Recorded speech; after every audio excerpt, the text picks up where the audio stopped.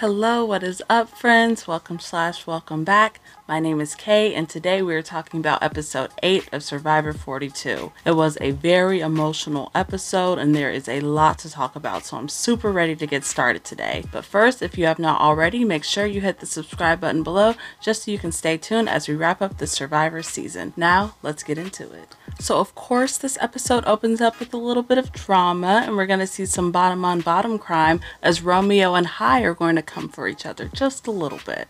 See, last tribal, Romeo wrote Hai's name down, and somehow Hai ended up finding out. Now, a couple weeks ago, we saw on the show that Hai and Romeo were able to bond just over being members of the LGBTQ community together, which was really nice and wholesome. But I did notice that we didn't see an actual alliance form there. It was just a bond slash friendship. I think that the fact that they didn't end up forming an alliance caused for some serious ramifications in this episode. Rocksroy also finds himself in hot water when he desperately tries to make an all guys alliance with all of the other men left on the island. Some of the dudes were down, but Omar and Hai were not having it. They don't seem to like Rocksroy that much, they don't really want to work with him, and they don't really want to be a part of the misogyny club, as Hai puts it. And I don't know where they got the idea that I would vote with all the boys. Like, I'm not part of the misogyny club here. Here's just my take on the whole all girls or all guy alliance thing. For me personally, I just don't think gender would be enough alone to fully make me trust somebody like that in the game. Like, there has to be more there, you know what I mean? Like, if I was in a game like this, it's not like I would necessarily be against working with other women at all, but it's like, how do I know I'm gonna trust every single individual girl to be a part of an all girls alliance? I just don't think gender alone is really enough to build a solid bond in a game like this. I personally don't. It just seems like kind of a lazy and unreliable way to vet people, and Omar and Hai seem to agree with that. We get to the challenge and everybody splits off into teams of two. Jeff announces that there will be two immunity winners, two tribals, and two people voted out today. The challenge kicks off, and we see that Hai and Jonathan are both able to win individual immunity for themselves. So, hey, congrats to them. After the challenge, the two teams split off and they go back to camp. At the first camp that is filled with all the men, Romeo and Rocksroy's names are the ones that are really on the chopping block. Roxroy has been in trouble for a while now because I don't think people really like him a ton. Romeo is still in trouble just because he was on the outs last week and he hasn't really been able to be a part of a really big group. So he's just been kind of on the sideline the whole time. At first, it looks like it might be up in the air between the two of them, but that men's alliance thing that Rocksroy Roy tried to pull really, really did not sit well with the rest of the group, and that is going to end up being his downfall. We get to Tribal Council, and these guys are men of little words. We don't really get any big metaphors or long drawn out speeches like we usually do during the tribals. The votes are read, and Rocksroy is the one voted out, which again really isn't too surprising, seeing as though he never really found his footing within the big group. Over on the second team, it is Drea's name that is really the main one on the chopping block, with Jonathan being the one leading the charge against her. Dre has been a huge threat in this game, plus she's survivor rich right now, so she really is a threat to everyone. Jonathan tells everybody this plan, and everybody is seemingly down with it at first. This group now goes to Tribal, where they all see that Rocksroy was just voted out. Drea is shocked by this. She's left speechless and she looks really uneasy the whole time after seeing that Rocksroy left. Jeff asks her what's up, and Drea says that she's really upset seeing two black people voted out back to back and she didn't want there to be a third one in the row.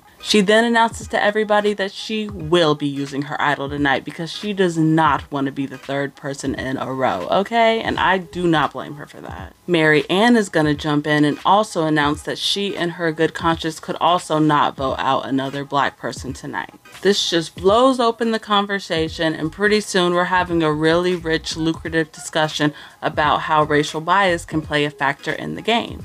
Hold up, let's just pause here because some of the discourse about this online has been questionable to say the least. I personally don't think that Chanel and Rocksroy were voted out because of their race. Nobody does. But Drea doesn't know that. Drea doesn't know everything about the game or the All Men's Alliance or any of that stuff.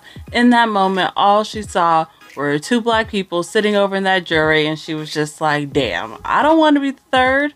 I don't blame her for that. Who wants to go home? Seeing Chanel and Rox over there probably set off her spidey senses, if you get what I'm saying. Like, she probably got an inkling that something bad was going to happen, which it was her ass was next and she was proactive about it. She took a stand and she told everybody, hey, I'm playing my idol, so it's not going to be me. And it's a good thing that she said it out loud because if she didn't, then it probably would have been Maryanne and we would have ran into the same issues. So, hey, good on you, Drea, for using your intuition. I can't be mad at you for that one, girl. I think the main point that Drea and Maryanne were trying to make it's just that sometimes in shows like this, people get left out because of unconscious bias. Keyword there being unconscious. They weren't trying to call anybody out or call anybody racist, which I don't think Jonathan was understanding at first. It's fine though. I'm just I'm trying to be understanding and I'm not just gonna automatically cuss out Jonathan for not understanding the nuances in this conversation, you know? Cuz if you just get mad and cuss him out and just do all this, then nobody's to learn, you know? And what are we doing here? We're trying to learn from each other. We're trying to grow and be better people from these discussions, right? So after all of this beautiful lucrative Maryanne is going to play her idol. She's going to play hers out of principle because she knows that some of you viewers at home are going to accuse her of using the race card in order to get ahead in the game. And she does not want that, so she's just going to play her idol for her safety. I completely understand and respect this move, even if it is technically wasting an idol, because like I said before, she's doing this for a reason. She's doing this out of principle to make a statement. I get it, I respect it. Unfortunately, her plan didn't work out too well because on Twitter and Reddit, I still saw people accusing her of using the race card and being racist anyway. But you know what? People are just going to believe what they want to believe, so I'm going to let them have that. So after this whole sticky combo, Jeff just decides to let the whole group vote out loud instead of going to do it privately. Obviously, because now that Maryanne, Drea, and Jonathan are all safe, it means that the only options to vote out are Tori and Lindsay, and it's pretty obvious who they're going to choose. Not surprisingly, Tori is the one chosen and is going to become the next player voted out. So, what do you think of this decision to vote out Tori? Do you think they made the right move or should have been Lindsay instead? Let me know in the comments below. I'm also interested to hear your respectful opinions on tonight's episode and the discourse that went down during Tribal Council. Personally, I think this season is hot, hot, hot, and I am so excited to see where it's going from here. As always, I'm excited to wrap up and finish up the season with you guys. I will see y'all later. Bye.